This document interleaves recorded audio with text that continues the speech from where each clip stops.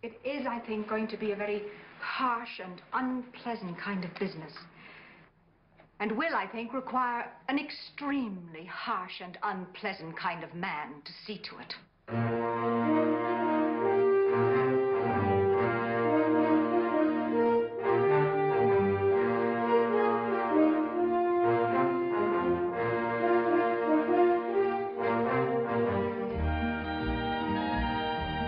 No, sir.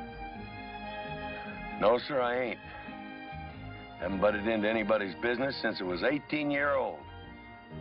At which time it almost got me killed. Ain't gonna start that again. What's the matter?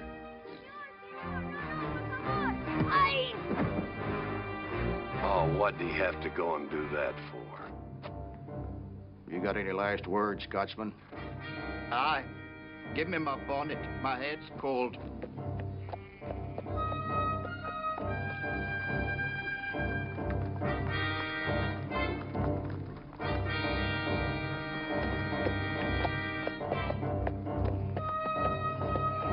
Right, now let's get on with the hanging. Howdy. Got you kind of surrounded, haven't they?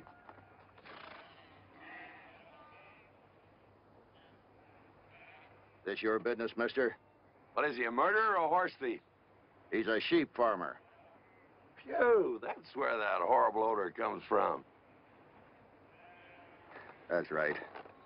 How about the boy? You gonna hang him too, or just beat him up some more? Mister, you shouldn't butt into something that's none of your business. You really shouldn't. I think you're right, friend. Man shouldn't butt into anything that ain't his own affair. Sheep farmer? You want to sell them sheep? Uh, yes, sir. Well, let's see. I'll give you a hundred now and three hundred when I get them to market. But that's highway robbery. Well, maybe you think you're gonna get a better offer for him today. I'll take it. Uh, with one proviso. What's that? I'll go with the sheep. Good. You're working for me. You go ahead. You go right ahead. If there's anything I enjoy more than hanging a sheep herder, it's hanging somebody who sticks his nose into my business. Go on. You try to cut that rope. No, you got me scared. You do it. Dog! Get